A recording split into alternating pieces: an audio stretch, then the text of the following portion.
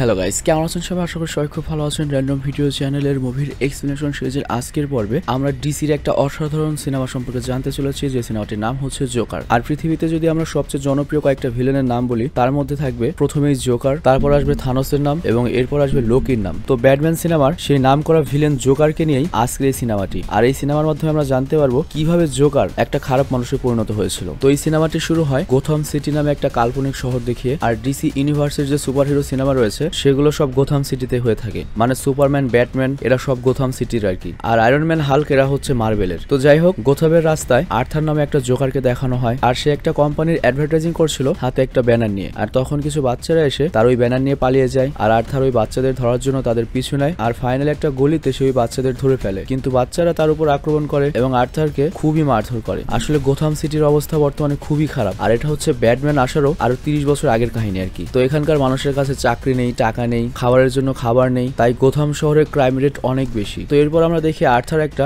সাইকোলজিস্টের কাছে এসেছে আর এখানে এসে সে দুঃখে জোরে জোরে হাসতে শুরু করে। আসলে তার নিউরোলজিক্যাল ডিসঅর্ডার অসুখ রয়েছে। আর এই অসুখের মানে হচ্ছে ওর ব্রেন অতিরিক্ত চিন্তা করে বা অতিরিক্ত ডিপ্রেসড যার ফলে সে তার চিন্তায় আলাদা একটা পৃথিবী বানিয়ে রাখে। মানে চোখ দিয়ে যা দেখে, তার সাথে সে যেটা কল্পনা করে সেরকম একটা পৃথিবী নিজেই বানিয়ে ফেলে। মানে রোগী তার মনের পৃথিবী আর আসল পৃথিবী গুলিয়ে ফেলে। আর আর্থার এই রোগের প্রথম পর্যায়ে রয়েছে। আর এই রোগ হলে মানুষ তার অ্যাকচুয়াল অনুভূতি প্রকাশ করতে পারে না। মানে ধরুন খারাপ লাগছে, সে হাসি করছে। তো এরকম একটা ব্যাপার হয়েছে আর্থারের সাথে। সে টেনশনও রয়েছে, কিন্তু জোরে জোরে হাসতে শুরু করেছে। মানে তার ব্রেন বুঝতেও পারছে না, তাকে এখন কাঁদতে হবে। তো ডক্টরের কাছে আর্থার বলে, আমি একটা স্ট্যান্ড আপ কমেডিয়ান হতে চাই। মানে কপিল শর্মা যেমন কমেডিয়ান, সেরকম কমেডিয়ান হতে চায়। কিন্তু গোথাম শহর হচ্ছে এমন শহর, যেখানে পৃথিবীর সবচেয়ে বেশি ক্রাইম হচ্ছে। মানুষজন পাগল পাগল হয়ে গিয়েছে। এখানে একটা কমেডিয়ান হওয়া এত সহজ হবে না। আর এরপর সে ডক্টরকে একটা ডায়েরি দেখায়। আর ডায়েরিতে সে লিখেছিল, আমি আশা করি আমার মৃত্যুর মূল্য আমার জীবনের চেয়ে বেশি হবে। এরপর ডক্টরের সাথে দেখা করে আর্থার তার বাসায় চলে আসে এবং সেখানে সে তার মায়ের সাথে থাকে এবং কোনো এক সময় তার মা শহরের মেয়র, যে কিনা বিলিয়নার আর তার নাম হচ্ছে টমাস উইনি তার জন্য কাজ করত।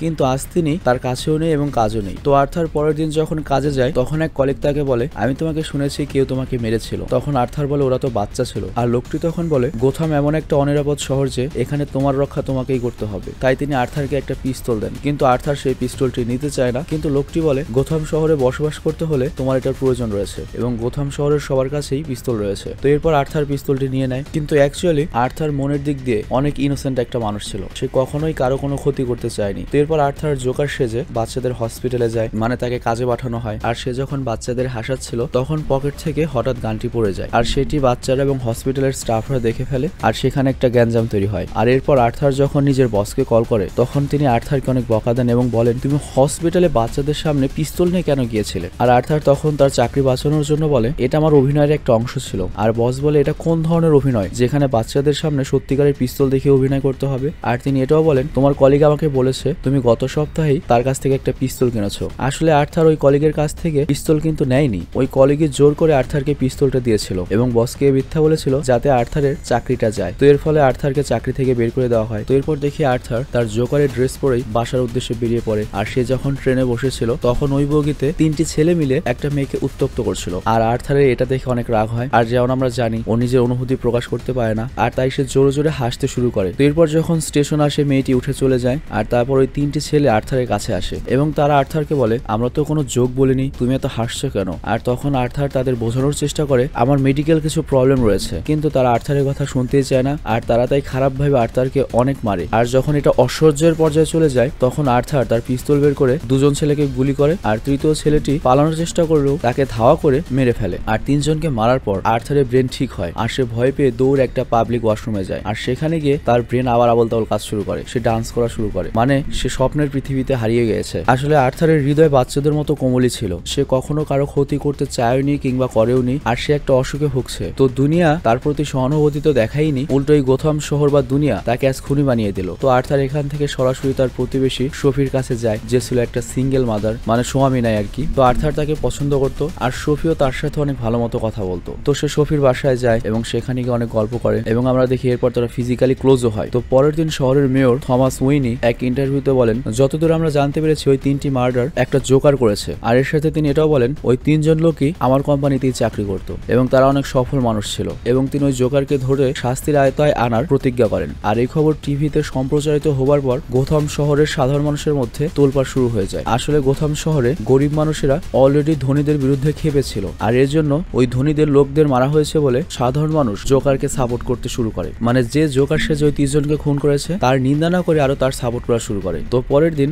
আর্থার আবার সেই সাইকোলজিস্টের কাছে যায়। আর ওই সাইকোলজিস্ট আর্থারকে বলে, সরকার আমাদের কাজের ফান্ডিং পুরোপুরি বন্ধ করে দিয়েছে। এই কারণে আমাদের চাকরি থাকছে না, তো আজই হয়তো আমাদের শেষ দেখা। আসলে সরকারের এখানকার মানুষের জন্য, তোমার জন্য বা আমাদের কোনো প্রয়োজন নেই। তো এটি শুনে আর্থারের মন খারাপ হয়ে যায় যে এখন থেকে সে আর তার ব্রেনের জন্য মেডিসিন পাবে না। তো যাই হোক, এরপর আর্থার এখান থেকে সরাসরি একটা স্ট্যান্ড আপ কমেডিয়ান শোতে যায়। আর সেখানে সে তার প্রতিবেশী সফিকেও দেখতে পায়। কিন্তু হঠাৎ করে সে ডিপ্রেসড হয়ে আবারও হাসতে শুরু করে। আর ওই হাসির কারণে তার পুরো পারফরমেন্স খারাপ হয়ে যায়। এরপর আর্থার সফির সাথে বাইরে যায়। আর একটা নিউজ পেপারে খবর দেখে যে জনগণ ওই জোকারের প্রশংসা করছে। আর সফি আর্থারকে বলে জোকার যা কিছু করেছে একদম ঠিক করেছে। ওই তিনজনই শয়তান ছিল। কিন্তু গোথাম শহরে ওই তিনজনের মতো এখনও হাজার হাজার শয়তান রয়েছে। তো আর্থার যখন বাইরে আসে, তখন দেখে সাধারণ জনগণ জোকারের মাস্ক পরা শুরু করে দিয়েছে। আর এটা থেকে পুরো বোঝা যায় সাধারণ মানুষ ওই খুনি জোকারকে সাপোর্ট করা শুরু করেছে। তো এরপর আর্থার যখন বাসায় চলে আসে, তখন সে দেখে টেবিলের উপর তার মা কিছু লেটার পোস্ট করার জন্য রেখেছে। আর লেটারগুলোর মধ্যে একটি লেটার ছিল এই শহরের মেয়র থমাস ওয়াইনি মানে যার বাড়িতে আর্থারের মা চাকরি করত। তো আর্থার তারপর তার মায়ের লেটার লুকিয়ে পড়তে শুরু করে আর আর্থার জানতে পারে তার মায়ের সাথে থমাস উইনের সম্পর্ক ছিল এবং আর্থার হচ্ছে থমাস ওয়েনি এবং তার মায়ের অবৈধ সন্তান। তো এরপর আর্থার তার মায়েকে জিজ্ঞেস করলে তার মা বলে, আমি তার বাসায় কাজ করতাম এবং আমরা একে অপরকে ভালোবাসতাম কিন্তু তিনি সমাজের অনেক উঁচু স্তরে বসবাস করতেন এবং আমি নিচু স্তরে, যার জন্য আমাদের সম্পর্ক পুরোপুরি অসম্ভব ছিল আর তাই পরে আমরা আলাদা হয়ে যাই। কিন্তু এ কথা আমি কখনো কোনোদিন কাউকে জানাইনি, কারণ মানুষ তাহলে আমাকেই খারাপ বলবে। তো আর্থার এসব কিছু বুঝতে পারে এবং এটা ভেবে খুশি হয় যে থমাস ওয়াইনি হচ্ছে তার বাবা। তো এরপর সে তার সাথে দেখা করতে যায় আর তার বাসার সামনে গেলে তার সাথে দেখা হয় থমাস ওয়েনির ছেলে ব্রুস উইনির সাথে। আর আমরা যে ব্যাটম্যান সিনেমা দেখি, এই ছেলেটি বড় হয়ে ব্যাটম্যান হবে। তো আর্থার জোকারের মতো অভিনয় করে ব্রুস উইনিকে হাসায়, ওর সাথে খেলে। আর তখনই ব্রুস ওয়েনির কেয়ারটেকার বাটলার আলফ্রেড চলে আসে। আর এ হচ্ছে, ব্যাটম্যান যখন বড় হবে, তখন তার অ্যাসিস্ট্যান্ট হিসেবে কাজ করবে আর কি। তো তিনি আর্থারকে ব্রুস ওয়াইনি থেকে দূরে থাকতে বলেন, আর আর্থার তখন বলে, আমি হচ্ছে পেনি ফ্লেকের ছেলে মানে ওর মায়ের নাম। এবং সে এখানে কাজ করতো এক সময়, আর আমি জানি আমার মায়ের সাথে টমাস উইনির কি সম্পর্ক ছিল,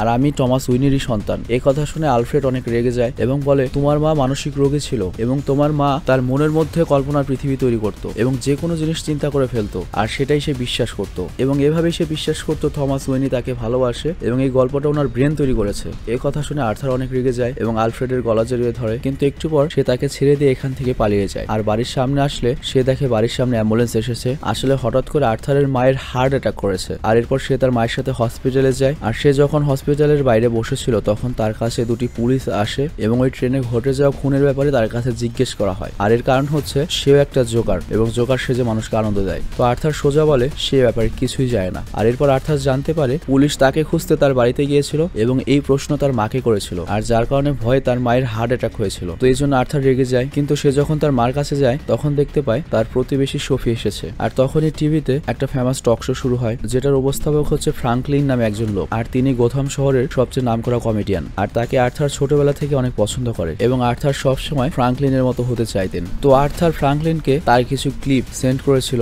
যেখানে আর্থার তেমন ভালো কোনো পারফরমেন্স করতে পারেনি। সে শুধু হেসেছিল। আর আর্থারের এই পারফরমেন্স দেখে ফ্রাঙ্কলিন অনেক মজা করে মানে টিটকারি করে। আর এটা দেখে আর্থারের অনেক কষ্ট হয় মানে এটা তার একদমই ভালো লাগে না। তো আর্থার যখন বাইরে যায় তখন দেখে শহরের অবস্থা খুবই খারাপ এবং গোথাম শহরের অবস্থা গরিবের রেখার চেয়ে অনেক নিচে রয়েছে। আর সবাই এর জন্য শহরের মেয়র থমাস উইনির বিরুদ্ধে রয়েছে এবং শহরের সকল ধনী ব্যক্তিদের তারা অপছন্দ করছে। এমনকি তারা তাদের বিরুদ্ধে আন্দোলন করছে জোকারের গেট আপ করে, কারণ তারা জোকারকে তাদের অধিকারের প্রতীক মানছে। তো যাই হোক, এরপর আমরা দেখি আর্থার একটা থিয়েটারে গিয়েছে, আর সেখানে সে ওয়াশরুমে গিয়ে থমাস উইনির সাথে দেখা করে এবং আর্থার থমাসকে বলে, আমি আপনার ছেলে। আমার মায়ের নাম হচ্ছে পেনি। তিনি কোনো এক সময় আপনার কাছে কাজ করতো। তখন টমাস উইনি আর্থারকে বলে, তোমার মায়ের মানসিক সমস্যা ছিল। আমার আর তার মধ্যকার লাভ স্টোরি শুধুই তার মনের কল্পনা। আর তুমি যদি সব জানতে চাও, তাহলে অমুক হসপিটালে যাও, যেখানে তোমার মায়ের চিকিৎসা হয়েছিল। সেখান থেকে তুমি তোমার মায়ের সম্পর্কে তথ্য পাবে। কিন্তু আর্থার থমাসের কথা বিশ্বাস করতে চায় না। সে বলে, আমি কিছুই চাই না তোমার কাছ থেকে। তোমার সম্পদ চাই না, আমি নাম চাই না। শুধুমাত্র ছেলে হিসেবে তোমাকে একবার জড়িয়ে ধরতে চাই। আমি তোমার ভালোবাসা চাই। কিন্তু থমাস ওয়াইনি এতে আরও রেগে যায় এবং সে আর্থারকে একটা ঘুষি মেরে সেখান থেকে চলে যায়। আর এরপর আর্থার পুরো সত্য জানার জন্য সেই হসপিটালে যায়, যেখানে তার মায়ের চিকিৎসা হচ্ছিল।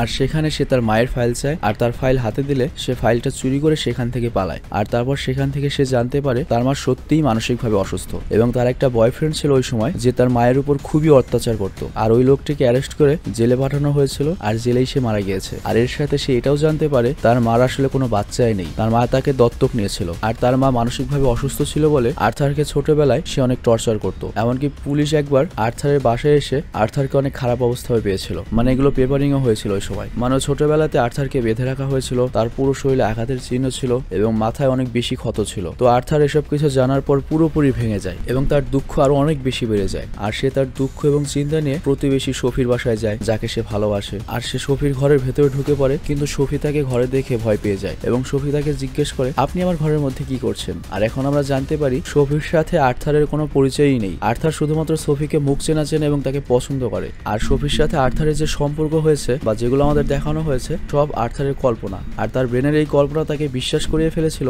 যে সফির সাথে তার সম্পর্ক রয়েছে। এরপর সফি আর্থারকে ঘর থেকে বের করে দেয় আর আর্থার এরপর আরও ভেঙে পড়ে এবং তার মানসিক অবস্থা বর্তমানে পুরোপুরি আউট অফ কন্ট্রোল হয়ে গিয়েছে। আর এই জন্য সে প্রথমে হসপিটালে গিয়ে তার মা পেনিকে বালিশ চাপা দিয়ে মেরে ফেলে আর তারপর বাসায় ফিরে আসে। আর পরের দিন সকালে আর্থার রেডি হচ্ছে সেটি দেখানো হয়। আসলে, আজকে সে একটা লাইভ টক শোর দাওয়াত পেয়েছে। অ্যাকচুয়ালি এর আগে সে ফ্রাঙ্কলিনকে যে তার ক্লিপ পাঠিয়েছিল, যেটা দেখে ফ্রাঙ্কলিন তাকে ঠাট্টা করেছিল, সেটা খুবই জনপ্রিয়তা পেয়েছিল এবং দর্শক তাকে যাচ্ছিল আর এর জন্যই ফ্রাঙ্কলিন আর্থারকে ডেকেছে তার শোতে আসার জন্য। তো আর্থার তৈরি হচ্ছিল, তখন তার কাছে দুজন লোক আসে আর তারা একসাথেই কাজ করত। আর এদের মধ্যে একজনকে তো আপনি চিনতেই পারছেন। এটাই হচ্ছে সেই লোক যে আর্থারকে পিস্তল দিয়ে পরে বসের কাছে মিথ্যা কথা বলে আর্থারের চাকরি খেয়েছিল। তো এর জন্য আর্থার ওই লোকটিকে প্রথমে মেরে ফেলে। আর সেখানে যে আরেকটা লোক ছিল, তাকে ছেড়ে দেয়। তাকে বলে, তুমি সবসময় আমার সাথে ভালো ব্যবহার করেছ, ভালো মতো কথা বলেছ। তো তুমি এর জন্য আমার এই কথাটা গোপন রাখবে, তোমার কোনো ক্ষতি হবে না। তো এরপর আর্থার পুরোপুরি জোকারের পোশাকে নাচতে নাচতে গান করতে করতে সিঁড়ি থেকে নিচে নামতে থাকে। আর তখন সিঁড়ির উপরে সেই দুজন পুলিশ অফিসার চলে আসে, যারা আর্থারকে এর আগেও খুনের ব্যাপারে জিজ্ঞেস করেছিল। আর তারা আর্থারকে দাঁড়াতে বলে,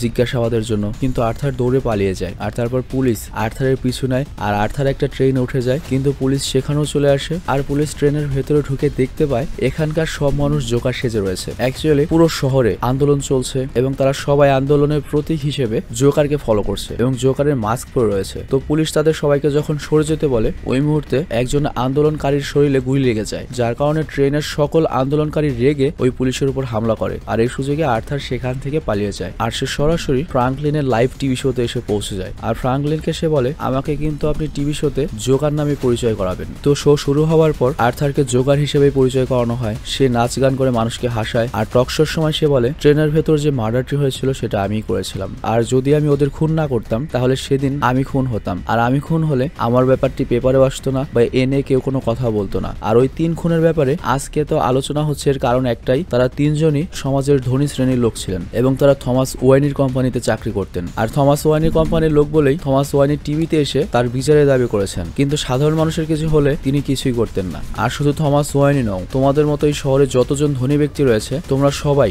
এসবের জন্য দায়ী। যেমন তোমাকে আমি একটা ক্লিপ পাঠিয়েছিলাম, যেটা নিয়ে তুমি মানুষের সামনে আমাকে মজার পাত্র বানিয়েছিলে। কিন্তু যখন সেটার উল্টো পপুলার হয়ে গেল, তুমি তোমার লাভের জন্য আমাকে এখানে নিয়ে এসেছ। আর তখন ফ্রাঙ্কলিন আর্থারকে দোষারোপ করে এবং বলে, আজকে তোমার জন্য তিনটা মানুষের মৃত্যু হয়েছে, পুরো শহরে ধ্বংসযজ্ঞ শুরু হয়েছে, এমনকি দুটো পুলিশকে খারাপভাবে মারা হয়েছে, আর তারা এখন আইসিইউতে ভর্তি রয়েছে। আর এর উত্তরে আর্থার বলে, তুমি কি জানো, একজন মানুষ যখন মানসিকভাবে অসুস্থ হয়, তখন সমাজ তাকে সহানুভূতি না দেখিয়ে তাকে রিজেক্ট করে দেয় এবং তাকে পুরোপুরি ছেড়ে দেয়। আর সবাই যখন তাকে নিয়ে মজা করে, তার উপর আঘাত করে, তখন তার কেমন লাগতে পারে? আর ফ্রাঙ্কলিন মানে ওই টিভি উপস্থাপক, আর্থারের এরকম কথা শুনে আরও রেগে যায় এবং সে বলে, তাড়াতাড়ি পুলিশ ডাকো। আর তখনই আর্থার লাইভ টিভি শোতে ফ্রাঙ্কলিনের মাথায় গুলি করে তাকে মেরে ফেলে। আর এরপর দেখানো হয়, আর্থারকে পুলিশের গাড়িতে করে নিয়ে যাওয়া হচ্ছে। কিন্তু তখন সেই আন্দোলনকারীরা রাস্তার মাঝেই অ্যাম্বুলেন্স দিয়ে পুলিশের গাড়িকে ধাক্কা মারে আর আর্থারকে বাইরে বের করে আনে। আর এরপর আর্থার গাড়ির উপর দাঁড়িয়ে তার জোকারের নাচ দিতে থাকে। এবং আন্দোলনকারী সকল মানুষেরা তাকে সাপোর্ট করছে এবং জোকার বর্তমানে গোথাম শহরের নায়ক হয়ে গিয়েছে। আর তখন গোথাম শহরের চারপাশে দেখি আমরা আগুন জ্বলছে। আর সেই পরিবেশে থমাস ওয়াইনি তার স্ত্রী আর ছেলেকে নিয়ে কোনো মতে বাসায় ফিরতে চান, কিন্তু গলিতে যাওয়ার সময় একটা আন্দোলনকারী তাদের সামনে আসে আর সে থমাস এবং তার স্ত্রীকে